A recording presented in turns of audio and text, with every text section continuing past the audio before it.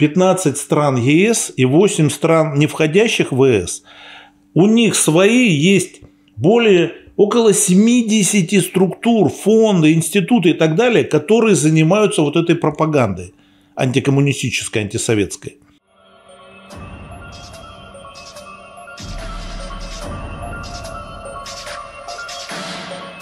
Здравствуйте, дорогие друзья! Мы с вами в студии «Перехват управления» и у нас в гостях Александр Иванович Колпакиди, историк спецслужб. Здравствуйте! Добрый день! Александр Иванович, ну вот весь мир так перепугался коммунизма, я уж не знаю, его даже не было у нас еще, чтобы его так пугаться. Да. Что происходит в стране? Почему такая борьба против коммунизма и против советизма? Да, тут как раз на днях э, два сообщения меня удивило. А, с одной стороны, э, ну, если кто помнит про индейцев, э, кто читал Фенемора Купера, значит, в Канаде есть провинция Онтарио. Там официально заявили, что будут э, в школьную программу вводить курс антикоммунизма. А, причем это там у власти находится партия такая консервативная, типа нашей Единой России по идеологии, так называемые, по-моему, они называются прогрессивные консерваторы, то есть это партия типа нашей Единой России. По идеологии один к одному наша Единая Россия. Прогрессивные консерваторы. Консерваторы, но э, консервы не, не едят, поэтому прогрессивные. И вот, значит, э, я смотрю, абсолютно не вызвало никакого интереса эта новость. Да, с другой стороны, тоже сегодня усл... прочитал, Дзень, оказывается, пару недель назад в Харькове, по-моему, да, в Харькове э, принято решение переименовать улицу Ромена Ролана в улицу Леся Курбаса. Этот Курбас – это э, галичанин, родившийся в Австро-Венгрии, учившийся в Вене, потом, значит, э, ставший крупным режиссером и так далее, а который был Э, репрессирован годы царских репрессий, э, сталинских репрессий. Оговорка по Фрейду. Значит, и вот э, меня поразило, что большинство жителей, ну, как там было написано на этой, ну, вот, э, сообщении, что большинство жителей Харькова э, на украинском языке с радостью приветствуют эту новость. И даже многие кричат – там пишут, что почему нету Бандеры, Шухевича и так далее. Ну, это, конечно, вот поразительное воздействие пропаганды на людей. Да? Но это может быть тоже дезинформация на самом деле? Не, нет, это, судя по всему, правда. Но там постоянно идет переименование. В ходе самой этой программы декоммунизации, я, кстати, даже писал об этом где-то, надо мне это напечатать в конце концов, там просто до безумия переименовано. А, ну ладно, там какая-то Роза Люксембург, там, не знаю, там мальчик, который э, боролся против там каких-то попов, его убили, значит, мракобесы, ну, типа Павлика Морозова. Там переименована улица Павки Корчагина, который вообще литературный герой. Памятники снесены все, в том числе представляющие особую художественную ценность и так далее. Ну вот сейчас снесли Щерса в Киеве, который был символом города даже молдаване, какие бы ни были, э, не трогают Котовского. Ну, там я подозреваю, что а, молдавская мафия просто пригласи, пригрозила, что если тронут Котовского, у них будут неприятности, так как Котовский для них самый успешный грабитель в истории Молдавии и так далее.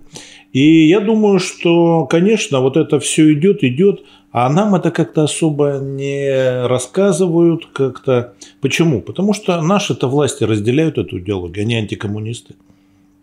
Они антикоммунисты. Вот проблема нашей страны, что у власти находятся антикоммунисты. Почему они, они антикоммунисты? Я не понимаю. Эти люди получили от советской власти все, о чем можно только мечтать. И даже власть. Да, и даже власть. И при этом они, э, я понимаю, допустим, Ельцина, да, это был человек ну, в определенном смысле тупой вот политически. Вот он строитель, наверное, был превосходный и так далее.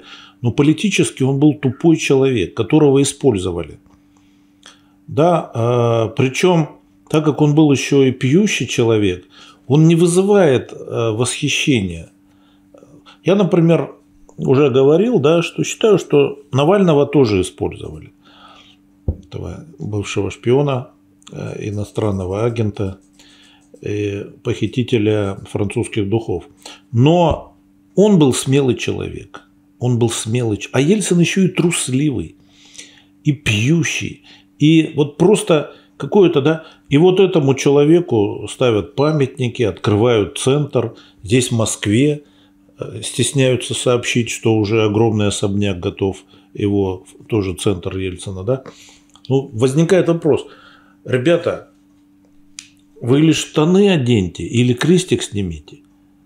Ну, наверное... И нашим, и вашим. Да, но так же нельзя. А, ну, крестик, конечно, смотрится у них как-то совершенно не к месту. И я думаю, что а, вот а, у нас просто плохо знают. Я даже, вот знаете, перед этой программой со своими двумя друзьями посоветовался, которые долго жили за границей, лучше знают заграничную жизнь, чем нашу. И они мне так особо э, ничего не ответили толком. Ну, так. А на самом-то деле... А вот, что вы спросили? Вот э, антикоммунизм сейчас есть или нет? Ну, в основном там свелось к тому, что э, компартии захерели.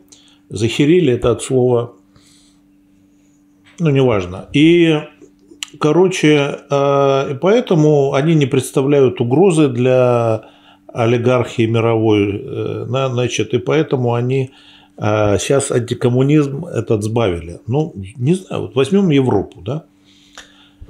Кто проводил и продолжает проводить, уже до Ромена Ролана добрались, да, который был, он же не был коммунистом, он был гуманистом, либеральным буржуазным гуманистом, выступал за мир, дружбу, жвачку и так далее. А коммунизма в нем не было ни на грош. Ну ладно, это не Павка, Корчагин и даже не Островский.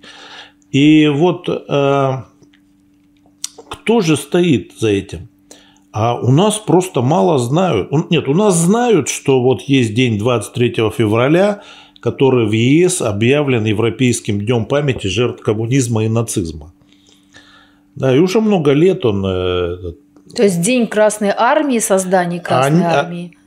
Августа, августа, я прошу прощения, 23 августа, да.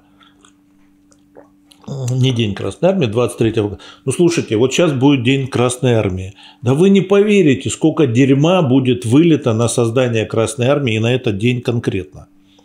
И я даже вот просто посчитал необходимым, там у нас клуб есть такой на Добрынинской, всех приглашаю, провести специальное заседание этого клуба, а, чтобы Э, рассказать правду об этом дне и о том, э, что там было в этот день. И там вот просто поразительные вещи, о которых никто у нас... Вот я просто, кто интересуется историей, посмотрите, там они выкладывают в интернете или приходите. Это будет, э, по-моему, четверг, что ли. Приходите, вы просто поразитесь, насколько вот эта современная клевета не соответствует тому, что происходило 23 февраля 2018 года, когда э, отряды солдат, матросов, э, рабочих, красногвардейцев отражали нападение на нашу страну по всему периметру границы, не только под Сковом и Нарвой, но и румын разгромили в этот день. И в это время громили красные казаки марионетку японскую Семенова атамана, который с помощью японцев вторгся как раз в это время на территорию Забайкалья. Его красные казаки громили. И знаете, э, я думаю, что вот это именно не случайно. Вот, ну, мне могут сказать, ну, это же какие-то придурки сидят, вот пишут это, клевещут на этот день. Дыбенко напился, сбежал, Ворошилов сказал, что ничего в этот день не было и так далее. Ну, они как под копирку все пишут. Да, я согласен, но я специально могу, занимался этим вопросом. Откуда появляются вот эти компании клеветы? Там за этим стоят определенные обученные люди. Я даже знаю некоторые структуры, которые этими занимаются а они как бы запускают некую информацию, хорошо проработанную, некую методичку. А вот эти придурки, не получающие денег, как правило, просто, они за это цепляются и начинают это уже по всему интернету развозить. Почему они это делают? ради хайпа. Вот знаете, есть такое... То есть это какие-то блогеры разносят эту информацию? Блогеры, чтобы вот выпендриться, показать, какие они оригиналы. Вот вы думали так, а на самом деле так. Вот это, вот это какая-то, не знаю, откуда оно взялось у нашего народа. Вот эта черта, что вот вы думали так, а на самом деле это так. Вот эта страсть бесконечному разоблачительству, она была использована э, там, я не знаю, кем там, ЦРУ, мировым сионизмом, синедрионом, не знаю. А, но факт, что в годы перестройки именно на этом и сыграли. Вот вы думали, этот хороший, а этот подонок, а вот этого маршала Тухачевского зверски расстреляли, а вы думали то. И вот оно пошло, поехало и так далее. А, вы думали, Сталин хороший, а его фамилия оказалась Джугашвили, вот вам, значит. И вот оно пошло, поехало и до сих пор катится. И вот это меня поражает. А, и это используют власть с помощью структур своих. Это не, это не просто вот кому-то пришло в голову, остальные подхватили. Нет, это внедряется, внедряется а вот эти, и зная, и причем механизм тот же самый, что вот те, кто это делал годы холодной войны. То есть, зная вот слабость нашего человека, какому-то, я не знаю, как это назвать. Ну, хайпу, наверное, все-таки. Ну, может быть, да. Знаете, всем очень советую посмотреть американский фильм, называется «Нация убийц», про девочек, как они там полгорода поубивали. Там, значит, в конце оказалось, что не девочка виновата, а ее младший брат, совсем маленький. Ну, в интернете размещал компромат, там, в общем-то, вокруг этого все и устроено. Ну, поубивали народу, матерь Божия, полгорода. И его этого ФБРовцы, он сидит в тюрьме и спрашивает, а зачем ты это сделал? Ради лайков. И, короче, э, вот я просто хочу обратиться к этим придуркам, которые называют себя блогерами. Ну не ведитесь вы на это. Проверяйте все. Не слушайте дураков. Не, не поверьте, что вас разводят, используют. Для этой эта власть специально подбрасывает. Вы это распространяете. Морочите голову людям ну и так далее. Короче, а вот это мы отвлеклись, да, вот, вот увидите, вот сейчас 23 февраля, это море будет этой лжи. Значит, приходите на Добрынинскую или смотрите там, э, значит, будет выложено. По поводу этого мы там будем с Сергеем э, Перелыгиным на эту тему выступать. И там картинки покажем и все расскажем, что было на самом деле и какое это было грандиозное героическое время и событие. И вот э, возьмем, значит, э, то, что в Европе. Ведь украинская, вот это, там у них есть институт исторической памяти, да, он, конечно, в силу бедности и воровства, а коррупция на Украине не меньше, чем у нас, даже, наверное, больше. И, э, конечно, он не такой гигантский, как в Польше. В Польше это государство в государстве требование, чтобы все материалы Польского института памяти печаталось в Конституции Польши. Это закон. Ты отказываешься, тебя посадят. И там огромное количество сотрудников, огромное количество бешеные зарплаты у них. Они издают, печатают кино, телевидение, радио, все на них работает. Они промывают мозги полякам, как никто Геббельсу и не снилось в Третьем Рейхе. Ну, это они как бы курируют вот этих украинцев. А там у них сидит смотрящая, это такая американская историк, естественно, фамилия у нее Аппельбаум, э, Энн Аппельбаум.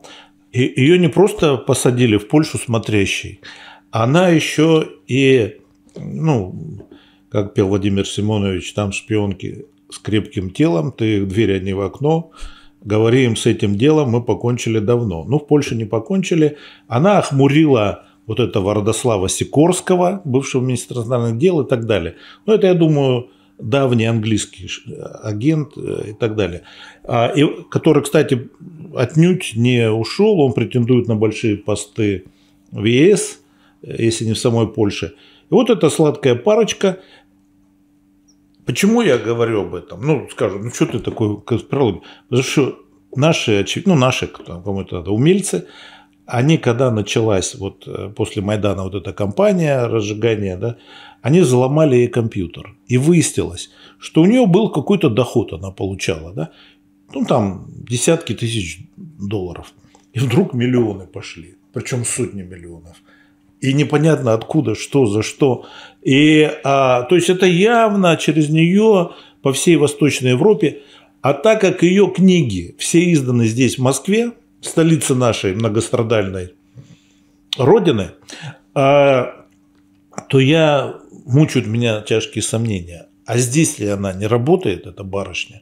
Потому что книги ее нахрен никому не нужны. А через какое издательство? Я не помню уже, да не в этом дело, не будем стучать. А я думаю, что вот просто вот эта сеть, она работает. Есть вот это Эннапельбаум, есть еще какие-то там э, английские и прочее. У них там вот это существующая не просто группа людей, а некая структура, которая действует. Да, причем самого паршивого свойства эти люди. Порошенко чуть ли не в засос целовался с этой Апельбаум. Но это не значит, что мы обвиняем его, что он не украинец, а потому что Зеленский, по-моему, с ней не целовался. И а, тем не менее, работа это идет. Более того, этот польский, он служит как бы структурой такого интернационала международного. Представляете? То есть по целому ряду стран, я не помню, 15 стран ЕС и 8 стран, не входящих в ЕС, у них свои есть более около 70 структур, фонды, институты и так далее, которые занимаются вот этой пропагандой антикоммунистической, антисоветской. То есть это огромная машина действует. А что против них? Я еще, ну я не помню уже, это еще до Майдана было, я говорил, что а почему мы не реагируем на это? Советский Союз их, наверное, научил.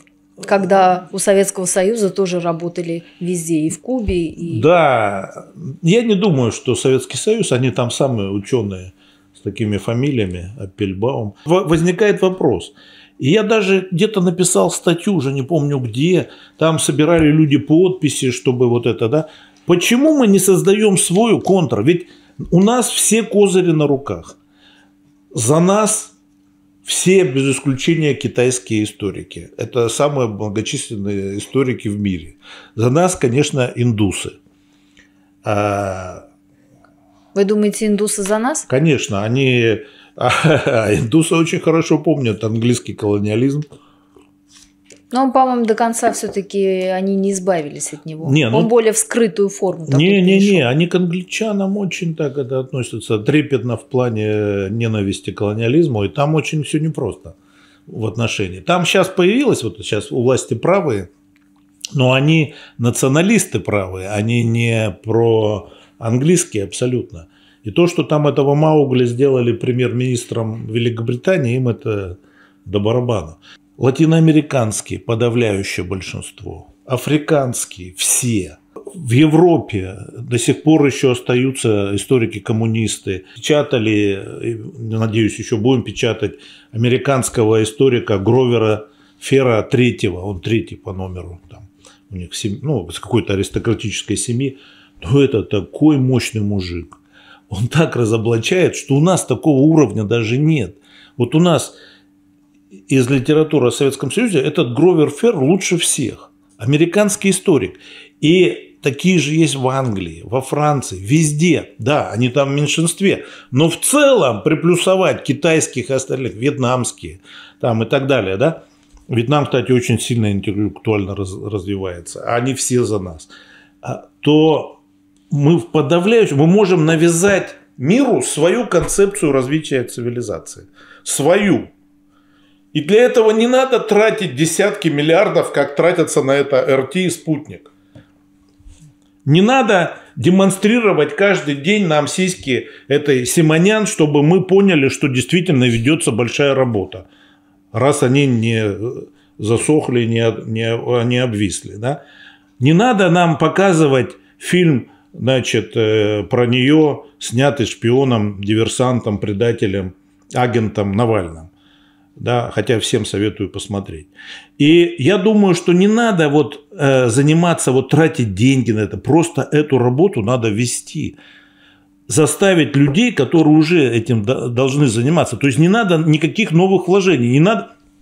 Политическая все говорят, воля должна Все быть. говорят, а почему вот э, мы проигрываем, да, вот это. Даже президент сказал в интервью с этим Карлсоном, который улетел на крышу обратно, сказал, что ну, невозможно выиграть это, да, там. Это кто сказала? Симонян ему сказала. Как это невозможно? Просто, наверное, не те люди этим занимаются. И не так, как надо этим заниматься. По крайней мере, в битве за историю у нас все козыри на руках. И не надо для этого деньги тратить, государственные. Не надо тратить эти десятки миллиардов, которые идут на эту Симонян. Я ничего против Симонян не имею. Я очень уважаю. Она нарожала массу детей. Даже в царской России крестьянки столько не рожали. Она второе место после Евдокии Петровой – которая родила 86 детей. Но это заслуживает уважения, да, конечно, безусловно. Но почему мы не можем реально противодействовать? Почему вот у нас за что не возьмутся, сколько денег не вложат, все равно получается автомат Калашникова? Ну почему? А потому что антикоммунисты. Они антикоммунисты. Вот их ахиллесовая пята нашей власти. А там реально идет борьба, как шла, промывание умов. Да, Компартии сейчас в кризисе, да. Я уже много раз говорил, я, ну, я не уверен на 100%, ни в чем нельзя быть уверенным на 100%, кроме веры в Бога. Но а, я уверен, что в годы перестройки западные спецслужбы взяли руководство Компартии под контроль заагентурив, завербовав, внедрив сюда людей и так далее. Поэтому вместо социально-экономической э, повестки, вместо поддержки СВО, вместо поддержки борьбы э, юга против севера, эти компартии занимаются э, поддержкой этих всяких гендер, как это называется, гендерной повестки, извращенцев всяких, ну, прочих, да, и а, этой экологической. Я ничего против экологической не имею. Но это не должно быть главным. Где в коммуни... манифесте коммунистической партии про экологическую повестку? Нет, конечно, она должна быть и должны об этом говорить. Но это нельзя превращать в главное. Главная социально-экономическая борьба за интересы трудящихся. Александр Иванович, да. у них это все извращенную форму принимает, понимаете? Да, Они приняло красивой, уже, уже приняло. Вы, да, вывеской да. подсовывают нам. Да, да, да. Но а, вот смотрите, то, что компартии нигде не представляют угрозу, но стоило только появиться моей любимой женщине Сарочке Вагенкнехт и сказать, что а я не такая левая, как вы, я Правильная за левая. разум и справедливость. Какой же хай. И даже у нас, я смотрю, какие-то дураки появились, которые пишут, что это специально немецкая буржуазия за ней стоит, чтобы левую партию разводить. А какой толк был от этой левой партии? Вот какой толк был от этой левой партии, Делинки? Какой? ну, там, наверное, каким-то вот этим секс-меньшинством и прочим какой-то толк был, хотя непонятно, и без левой партии все, особенно либеральная демократическая партия, зеленые, они все в этой повестке. Но какой толк был вот левой партии в это во все влазить? И, конечно, сейчас начали писать, и у нас повторяют дебилы, э, что это левопопулистское. Да не левопопулистское, это ярлык. Вот они вешают на нее ярлык, она левопопулизм, да. Она там с, с этими профашистскими силами, крайне правыми и так далее. Нет, врете. Это вот как раз и есть за рабочее дело, за трудовой народ. Вот это и есть э, марксизм 21 э, века. И недаром она еще совсем молоденькой девушкой в этой партии Долинки возглавляла коммунистическую платформу. Там у них много фракций всяких и прочее. Она возглавляла коммунистическую платформу.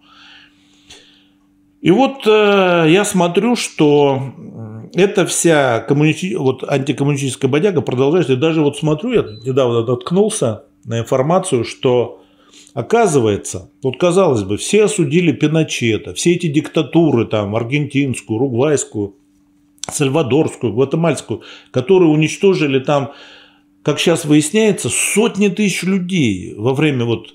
Причем были установлены при поддержке американцев. И вот сейчас есть такая там, в интернете можете посмотреть, там операция «Кондор», да, там, и она разоблачается, нашли там документы, людей этих реабилитируют и так далее. А этих всех сажают. Это, кстати, сидит родственничек нашего атамана Краснова, которого на Дону у нас чуть ли не национального героя превращают. Он сидит в тюрьме за убийство чилийских э, левых. И не выйдет уже никогда.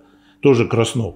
И прямой его родственник. И вот там тоже я смотрю, э, вот у нас вот этот Милей, да, его так воспринимают, как какого-то дурачка, какой-то там с бензопилой дружба, что-то такое. На самом деле это не дурачок. За ним стоят очень влиятельные силы. Это силы а, сторонники вот этого фашистского диктаторских режимов 60-х, 70-х годов. Они этого не скрывают. Там во главе их стоят дети этих убийц, диктаторов военных – они, они пром во главе стоят этого движения, требуют реабилитировать их там, а, что они правильно, а под каким соусом? Они же боролись против коммунизма. И вот, например, читаю тут статью, вот а, какой-то наш полуумный пишет, а, ну, действительно же, вот эти аргентинские э, коммунисты, они устроили герилью, там, начиная с начала 60-х годов, создавали партизанские отряды и так далее – поднимали восстания в городах, создали несколько организаций, там Революционная народная армия, Монтанерос и другие. Но, извините, а это разве не было в борьбе против диктатуры? А вы посмотрите, в это время, что в Аргентине все время была демократия, выборы и так далее. Это не было в борьбе за права народа, который жил в нищете – и э, против олигархии, против латифундистов, против промышленников и так далее, это не было классовой борьбой. Да, и это все, значит, сейчас пытаются переиграть, и все это под лозунгом антикоммунизма, что, ну, а, да, убивали, ну, правильно, они же коммунисты. И это уже в этих странах получают очень большую поддержку. Вы посмотрите, Лула в Бразилии еле-еле победил. Несмотря на то, что истреблялись леса, Болсонару, это друг нашего президента, да, вот этот, ну, который открыто, его программа была, что надо реабилитировать диктатуру военную, да, что я военный, я требую, это герои, они спасли. От чего спасли? От чего? Партизанские отряды в Бразилии появились после установления диктатуры. До этого их не было. И э, и вооруженная борьба коммунистов началась там после установления диктатуры. До этого не было. До этого они участвовали в выборах и вели себя относительно спокойно. Да, и вот э, даже в Бразилии, этот, посмотрите, он еле-еле, Лула победил его. Несмотря на то, что вырубались леса Амазонии, гибли тысячи обезьянок, тысячи. Включая вот там совсем крошечные есть обезьянки, там 100 видов обезьян у них, 100 видов. Ну ладно, там индейцы, бог с ним. Да, ну обезьяны, это же вообще, я считаю, какой-то ужас. Зашквар. И я думаю, что вот эта борьба, которая сейчас ведется по всему миру, да, она невидимая. Никто не говорит про антикоммунизм. Но, извините, а почему а, вот Украина, да, Почему там можно запретить не только Компартию, но вообще все оппозиционные партии, закрыть все каналы? Даже тех проходимцев, э, там у них были такие, знаете, как у нас тоже много таких проходимцев, какие-то мелкие левые секты, которые стали против России там выступать, э, ну, типа, их тоже разогнали, запретили. То есть там а, полностью зачищено левое поле. И все спокойно в Европе, никто не говорит. И Шольц их полностью поддерживает. Это ничтожество, это мразь. Он был в молодости лидером левого крыла социал-демократической молодежной организации ЮЗОС. Он э, был, э, ходил на демонстрации против войны во Вьетнаме, против американского империализма и так далее. Он был вот такой лохматый, Венедиктов отдыхает. А сейчас облез, лысый, подбили ему глаз – Боже мой, дурак дураком, на него смотреть тяжело. Он бы мог швейка играть без грима. А эта женщина, которая прыгала на батуте, упала, ударилась головой, стала политиком. Ну слушайте, надо вообще запретить эти батуты. Это что такое? Тут одни политики скоро у нас будут. Надо вообще запретить эти батуты. И я думаю, что... Это вот, не демократично. Да, я думаю, вот глядя на все это дерьмо, что смотрите, ну а что, во Франции этот лучше? Ну, женился, ну ладно, учительница, это все хорошо. Ну, слушайте, ну она старше на 30 лет, это же... Ну почему Наполеон не женился на 30 лет старше? Там она была старше, но не на 30 лет. Почему там Деголь не женился там? Ну, а почему вот это дошло до такого, да? И знаете, а, а, ну, у нас не так, да? Знаете, я тут прочитал тоже, вот просто чуть не вырвало, да? Надо поменьше есть, конечно, а то вот вырвет. Я тут прочитал, вот, ну да, хорошо, Правда, говорят, что жена Макрона умерла давно, и это Панин Алексей играет ее роль, э, поэтому он сейчас на Запад уехал исполнять роль жены Макрона.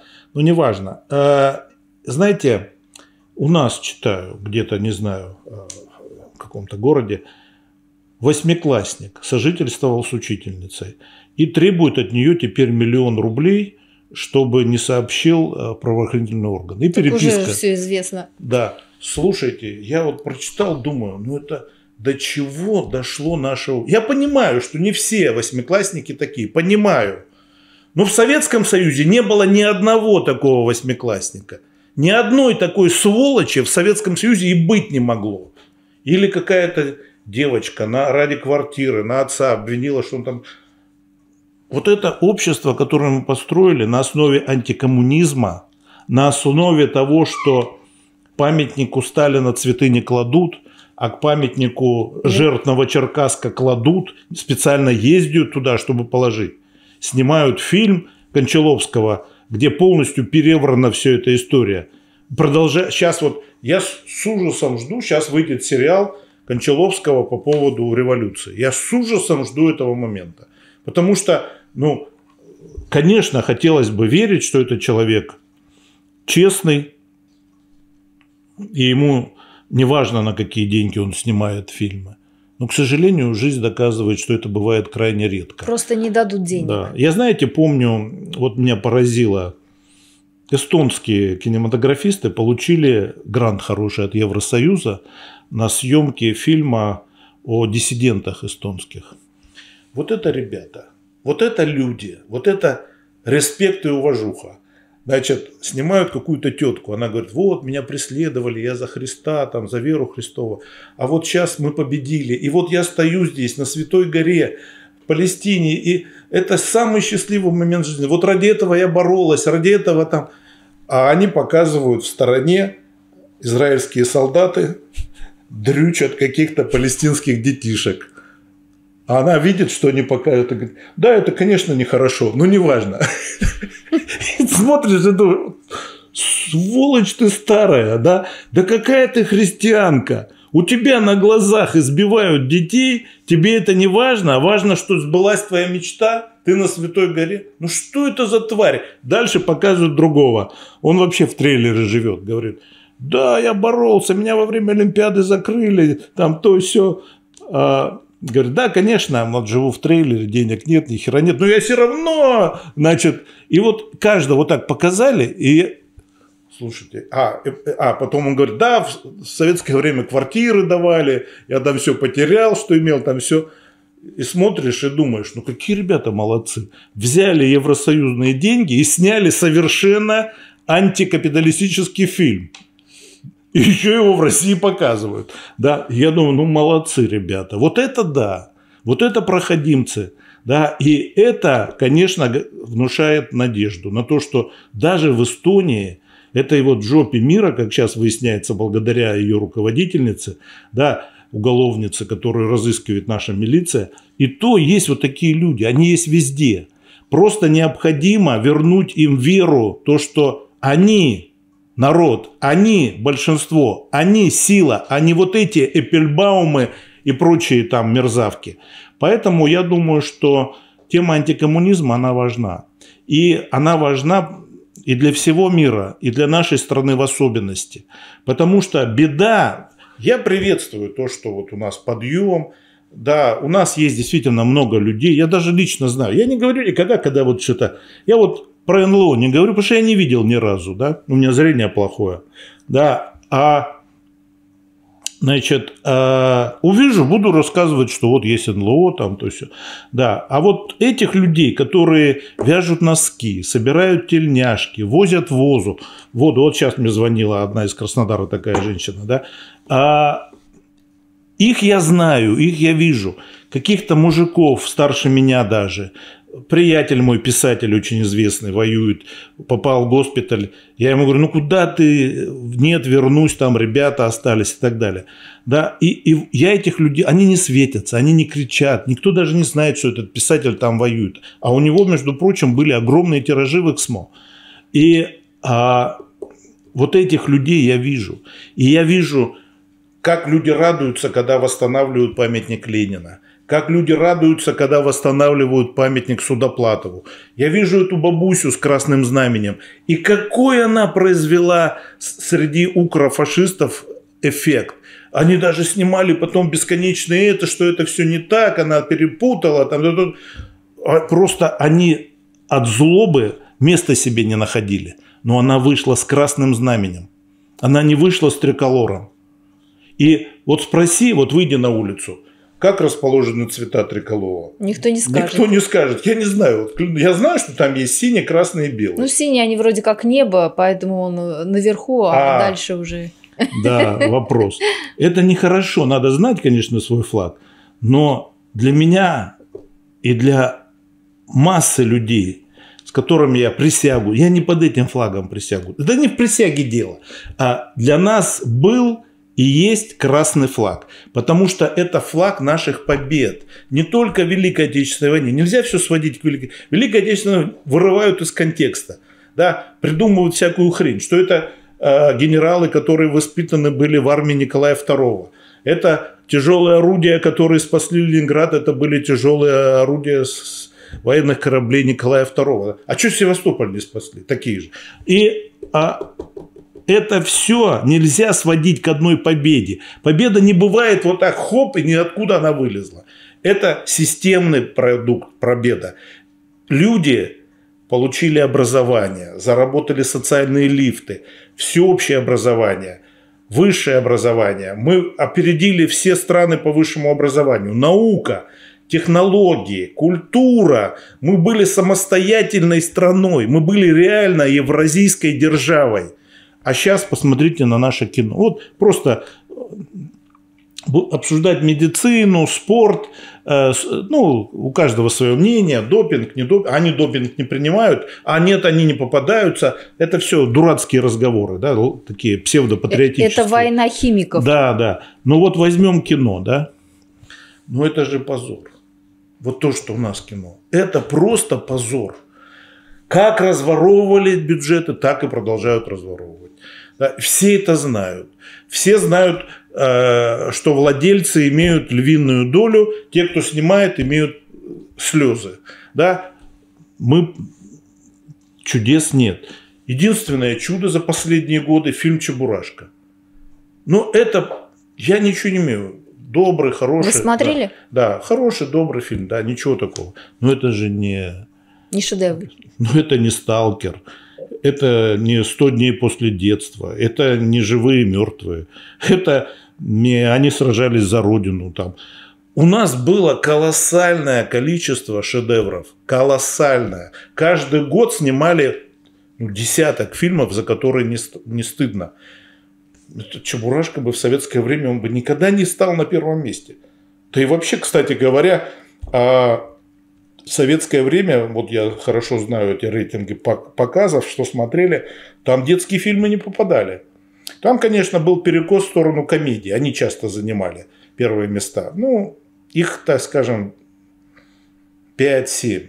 А основной массив давали военные фильмы, военные, давали да. серьезные фильмы, да. И сейчас, когда я пересматриваю эти фильмы, я клянусь, плачу. Вот плачу. Вот я в детстве над отцом все время смеялся, да, то он плакал, но он плакал только во время фильма «Весна на Заречной улице». Так это он нормально смотрел другие фильмы. А сейчас вот смотришь, ну, уже действительно смотреть тяжело. Вот действительно смотреть тяжело. Какой-то детский фильм смотришь, и вот этот патриотизм, вот это, и ты понимаешь, что это связано с тем, что люди были другие, что это не выдумка сценариста, а это реалии того времени. И строилось на чем? На том, как моя золотая Сарочка Вагенкнех назвала свою партию. Разум и справедливость. А сейчас что вместо разума? А сейчас вместо разума шаманы, ванга, джуна, мессинг, всякое мракобесие, всякая ерунда. Значит, не хочу обижать РПЦ, да, но столько там негатива от нее исходит. Столько, они делают очень много хорошего. С одной стороны, да, помогают нищим, детям и так далее. Это очень хорошо. Но они вызвали в обществе такой негатив. Вот почитаешь любой форум, где там ну, один негатив. Я не считаю, что это справедливо. Да, я могу понять, почему люди так негативно настроены. Потому что мракобесие и так далее. Но нельзя же не замечать, что вот эти батюшки, э, нищие, голодные, они помогают, они собирают деньги, они это все не воруют, а раздают, э, помогают действительно вещами, чем угодно, кормят и так далее. При каждом храме это, ну не знаю, в Москве уж точно. И я думаю, что вот именно из-за мракобесия из-за того, что пытаются навязать обществу свою вот эту идеологию мракобесную, не ту, которая была у РПЦ в советское время, а у них была очень прогрессивная идеология. У них они шли в борьбе движения за мир, борьбе против капитализма и так далее. Они вели диалог э, с католическим движением теологии освобождения. Э, ну, я уже много раз говорил, там, у них Латинской Америки, ну не только Латинской Америки, но в основном в Латинской Америке известны священники, которые не просто погибли в борьбе против диктатуры, о которых мы говорили. И некоторые из них сейчас, кстати, святыми объявлены. Вот, а, а, Ромеро вот этот недавно а, и так далее. Но там были священники, которые просто взяли в руки оружие и погибли партизане. Просто священники, которые взяли руку. А что, у нас не было священников-партизан во время Великой Отечественной? А почему про них РПЦ не говорит? Почему она им памятники не ставит, не прославляет или нет? Почему? Александр Иванович, проблема в том, что они сами не верят э, в то, что они делают не, не они, а вот верхушка. Да, которые, они, мы институция. Вот патриарх сказал, мы институция. Ну какая же вы институция? Ну если вы институция, а у нас какие институции уважают? У нас что, Росгвардию уважают? Что у нас? Вот какую институцию в нашем государстве все уважают? Министерство э, иностранных дел, э, Министерство здравоохранения, Голикову. Кого вот какая институция вот в нашей системе координат, ну, то, что мы имеем, не то, что в телевизоре, а то, что вот как, кто уважаем. Сейчас пошли вот, ну, это хорошо, конечно, я не знаю, это случайно, нет, об этом не говорят, но сейчас пошли посадки воров, коррупционеров и так далее. Дай бог. Смущает, что обычно же это все сопровождалось какими, особенно перед выборами, что мы сейчас наведем, а сейчас как-то молча это делают, ну реально сажают. И это хорошо, это я поддерживаю обеими руками. Но я не понимаю, вот хоть убейте, да? Ну, говорят, сажают все-таки тех, которые э, бывшие. Ну, да. Бывшие там, сотрудники. Ну, вот сейчас посадили особо радость, это Шпигеля. Это, это, это был вообще один из э, человек, который в детстве... Вот мы смотрели в детстве фильм. Что ты делаешь? Я говорил тебе, придет наш день. Слышишь? Это народ пошел на дворец толстяков. Сегодня мы свернем им жирные шеи. Ты с ума сошел? Ты же артист. А наша работа? Подожди, старик, немного. Жди, мы дадим с тобой представление на площади дворца. Ты с ума сошел? Подожди, давай порох. Какой порох? Добирайтесь до города. Ждите меня на рынке. И для нас вот был героем гимнаст Тибул и оружейник Проспера, да? А для этого Шпигель, я так понимаю, вот один из этих трех толстяков. Три толстяка назывался, да? Убрать его! В клетку его! Клетку! В Вот, ну его посадили, да, и слава богу.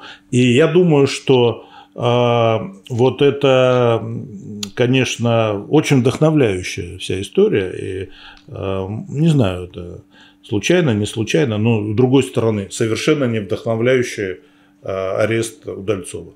Ну, вот я не могу понять, вот мы сейчас должны государство объединиться, э, у нас есть цель. Это не просто цель. Люди умирают ради этой цели. Гибнут люди, тысячи людей уже погибли ради этой цели. Вдовы, дети-сироты, матери не все даже имеют возможность похоронить своих сыновей. Да? Святая цель. Ну, вместо объединения, а зачем? Удальцов он что, выступал против? И вот тут мне непонятно, да? Я не призываю, чтобы посадили, не дай бог, вот этих людей, которые в левом крыле выступают против войны и так далее. Ради бога, ни, ни в коем случае не призываю их сажать. Да? Но почему эти-то на свободе, а этого посадили? Человека, который выступал за объединение, за то, чтобы это, за борьбу с фашизмом, посадили, а те, кто выступали с, догмати... с догматических, псевдомарксистских позиций, значит, потому что эта позиция, которая она была, она не марксистско-ленинская, она дурацкая. Это просто догматики, а, для которых марксизм – это мантры, да, которые не понимают, что жизнь, она диктует свое. И, и Ленин изменил, и Ленина также э, несчастного обзывали там, что он там не Маркса ученик, а Разина и Нечаева. И вот эти люди, они бы в то время были бы меньшевиками и так далее, но они бы не были с народом, как и сейчас они не с народом. Но, слава богу, их не трогают. Да? Но почему этого-то? И вот эти непонятки, они, на мой взгляд, исходят именно из одного, из антикоммунизма. Из непонимания того, что антикоммунизм для нашей страны – это смерть, это отсталость, это разруха, это прозябание, прозябание. Конечно, я не говорю, что вот э, все идеально там в Китае или на Кубе, тем более сейчас там очередная волна трудностей началась. Э, ну, все идеально, конечно, во Вьетнаме, ну ладно. А я не говорю, что это вот раз-два у нас... Нет, это трудный процесс. Много разрушено, много... Да. Но вот но очевидно, что есть некий научно-технический прогресс. Мы в него не вписываемся. Мы со своим вот этим антикоммунизмом, не мы, власть наша, со своим не вписывается. Она может только говорить, что она там шпис, но реальный это нет. Ну, посмотрите, вот хотя бы робототехнику. Да? Кроме того, у нас же огромная проблема, которая, я не знаю, посадят нас после этого, ну, не знаю.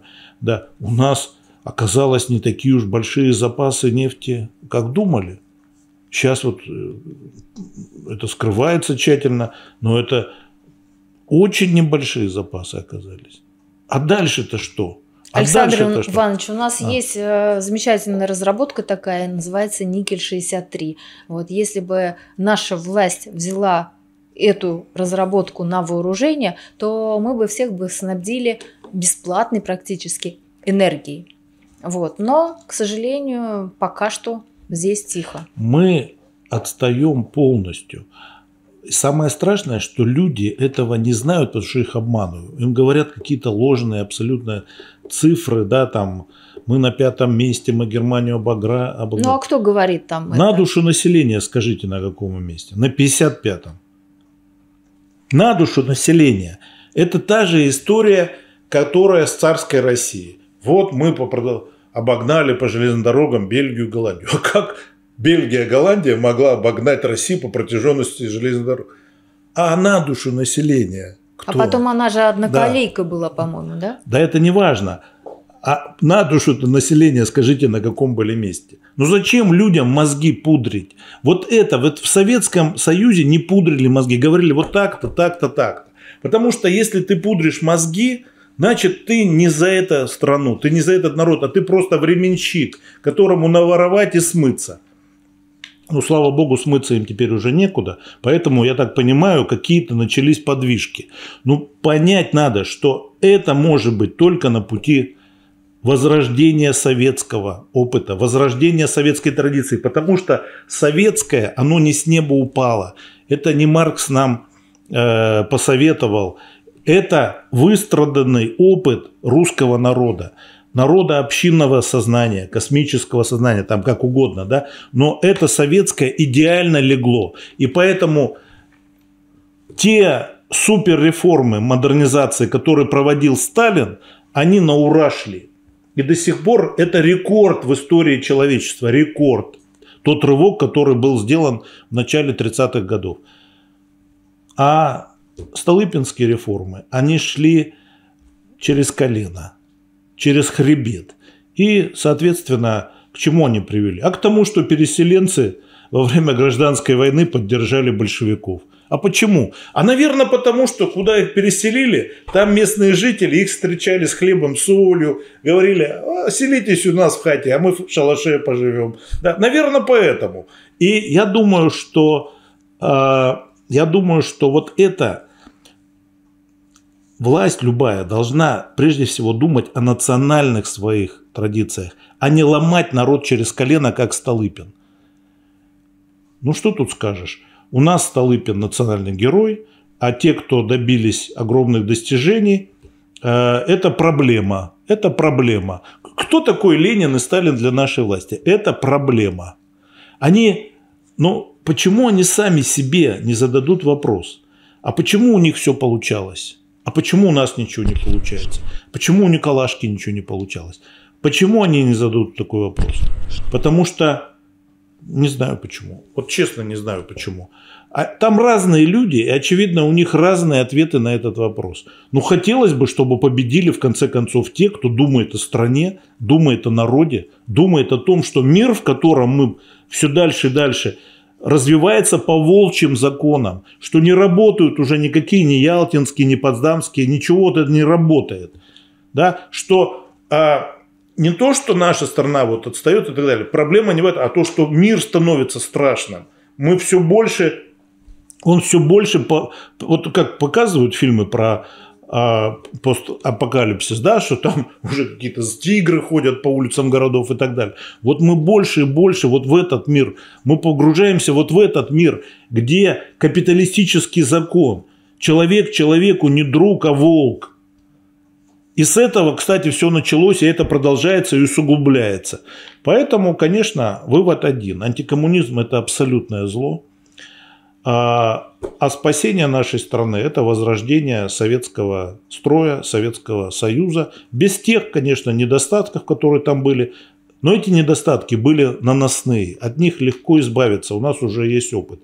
Но там идеальная для русского народа была система а, Троцкий плохо, Хрущев плохо, Андропов еще хуже, да, но Ленин и Сталин – это наше знамя боевое.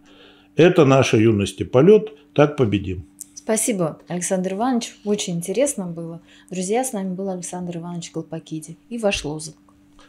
Вперед в СССР, друзья! Да здравствует коммунистическая партия Израиля, боевой авангард всех семитских народов мира.